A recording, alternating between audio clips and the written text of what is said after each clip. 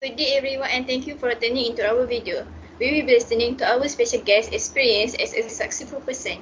Assalamualaikum, I'm Nadira Najwa and, and I'm your host today.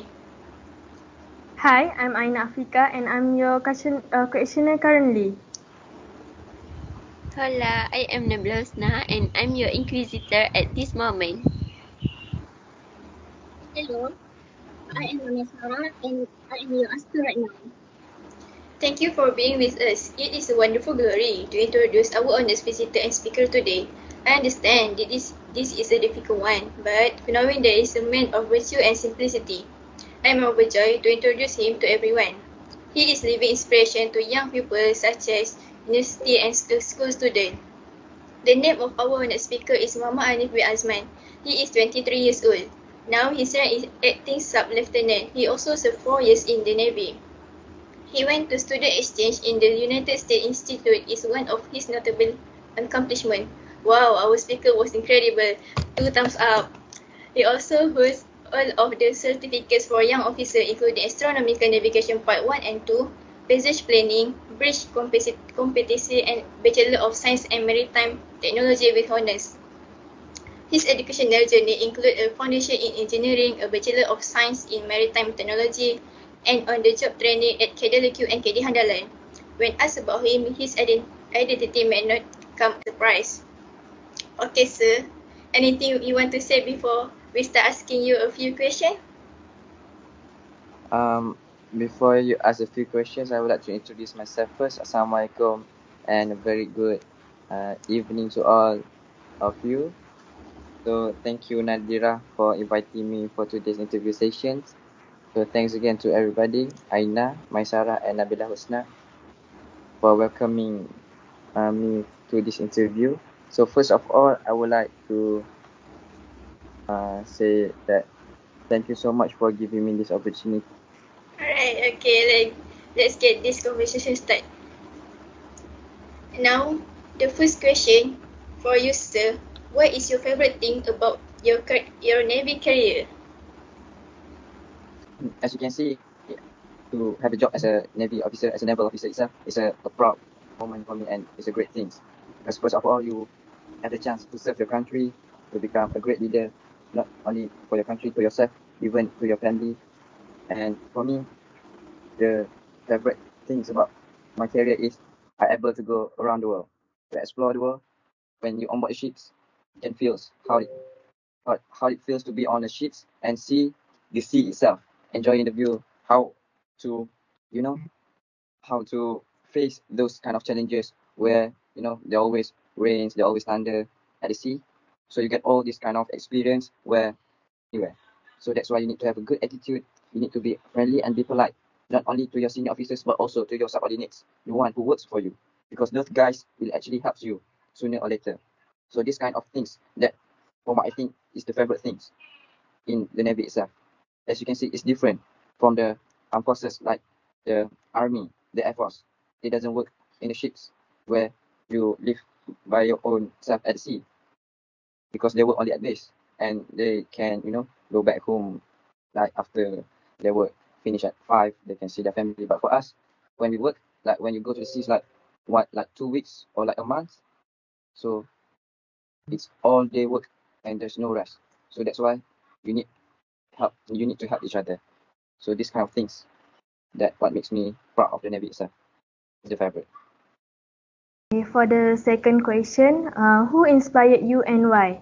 It's quite hard for me because i you know like lots of great people such as you know mahatma gandhi the adolf hitler itself and someone who talks greatly like mahathir and the one who have the best attitude like our prophet sallallahu alaihi wasallam Nabi Muhammad SAW and you know there's lots of great uh, person out there but for me the closest um, great person that I can be is the one who I want to be the most is like my uncle Datuk Dr. Azman Shariffadeen who is the founder of the MIMOS itself so he inspires me a lot especially when I was a young boy when I was a kid around like five or six years old that I told him I want to be a scientist one day.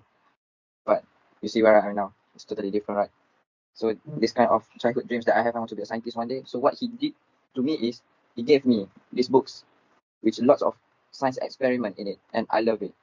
And also this kind of like you know the attitude where you support people what they want and give the things that they want to learn the most. Hmm. That's the first thing I like my uncle. And the second thing is he's really brilliant. I can tell you, he's really smart.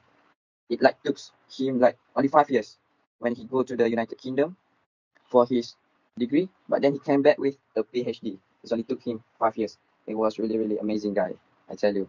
And he, he is also one of the what we call it as uh, the one who starts the developing the who, who start to develop the programming um, industry in the Malaysia itself.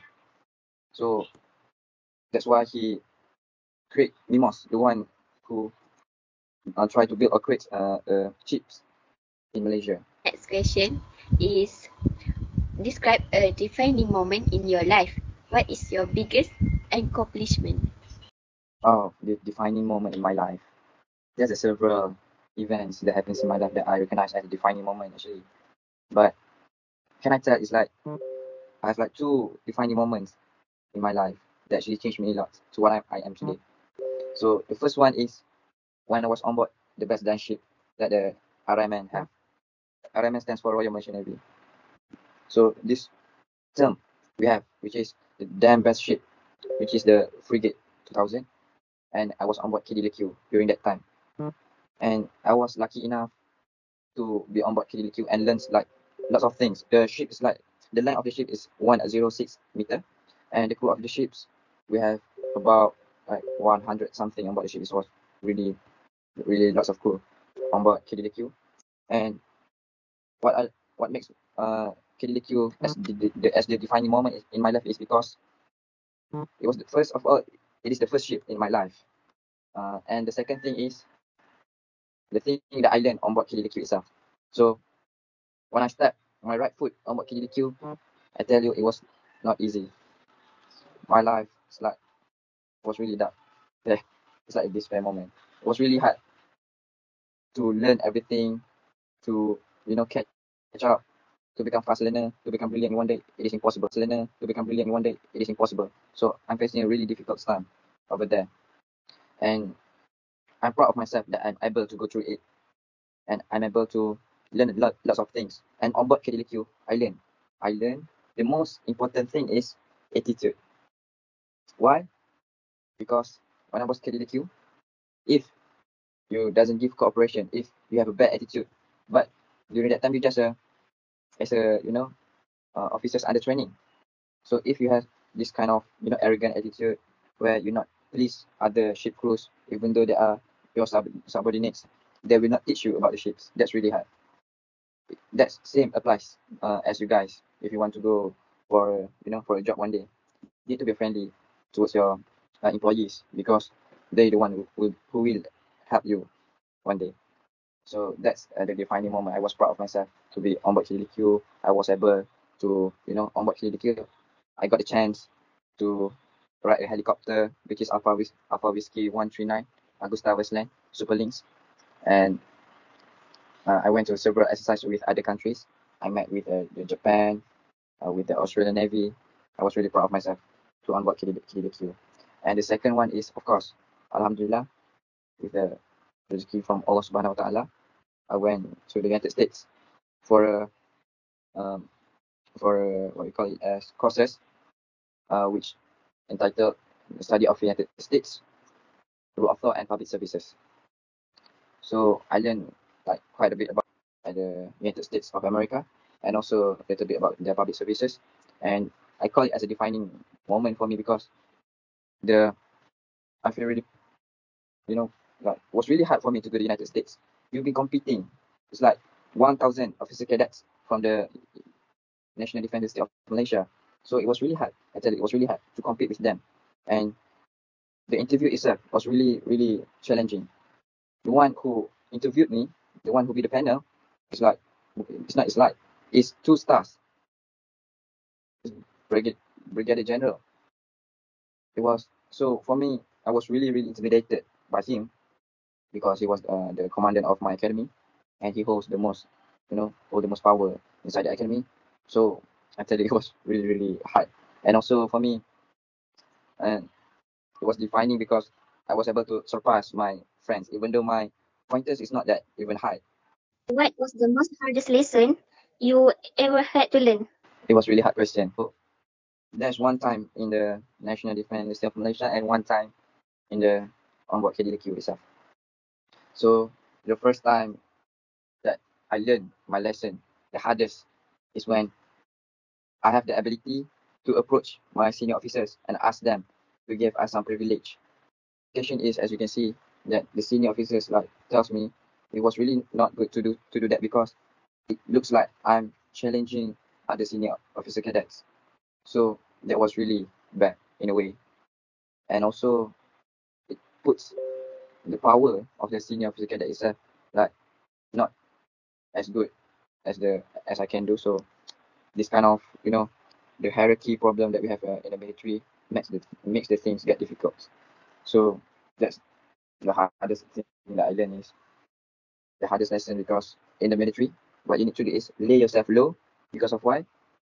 You just need to do the job as you were told and not try to, you know, make yourself too great because people will take advantage of you. The same goes to you guys when you guys in the university. Try not I'm not trying to tell you not to be a great person, but there's a limit to the things. Okay. So make sure you know your limits before your advan I mean your advantage hits yourself. What is your personal motto? What is my personal motto? Yes. I was served in the Royal Malaysian Navy and the Royal Malaysian Navy motto is ready to sacrifice. So this kind of uh, mentality you need to have for you to serve this kind of service. So by time, your family, your hobbies, in order for you to serve your service. It same goes to everyone outside there. Okay, you get what I'm saying, right? Okay, uh, last question from me. Uh, what is the best pieces of advice you have ever received? So there's a lot of advice actually that I want to give to you, right? As a person. What I can say to you in a short term is you need to have two things in your hand. First is common sense and the second one is courtesy. Why I talk about common sense and courtesy? Common sense is where you use your, you know, your senses to think about something. That same goes like to your job and work. Unless you really, really doesn't understand about the job or what uh, really needs, then you ask your supervisor. It was really, really, you know, easy to ask your uh, supervisor itself rather than you get yourself blamed for the jobs that have been did wrongly. So this with this common sense, I tell you, you will able to get uh, done of your job uh, really well. So the second one is a courtesy. What does the courtesy means that I'm trying to say is, for instance, in the bus, when you're sitting, then you saw, uh, when you then you see a pregnant woman, of course, you give the seats to the pregnant woman, right? So this kind of thing that I'm talking about.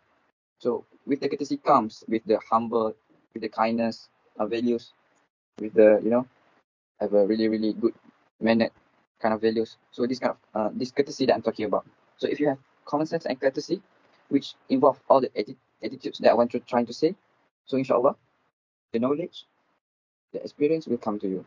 People are willing to share to the person who are willing to learn.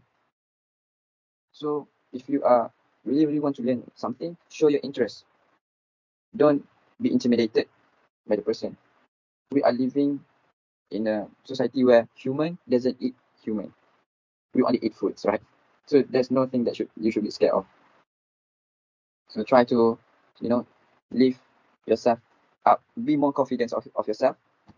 It's okay not to know something, but it is not okay for you to stay that way.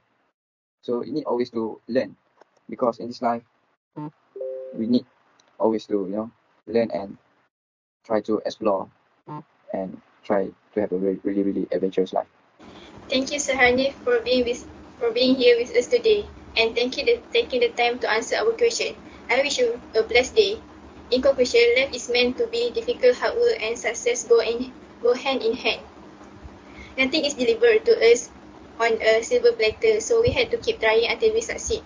In truth, life is full of challenges that only the most dedicated in- individuals can overcome. we must also have the proper attitude toward our goals. To be honest, to succeed in, in life, the person, mu- the person must put in a lot of effort. Thank you again, Sir Hanif. We have learned a lot from you today. Thank you for you all taking the time to watch our video. I wish you all the best in fulfilling your dreams. I hope that this video inspires you to achieve more success in your life. Please like our video and leave a comment on it. Don't forget to subscribe to our channel. Bye bye.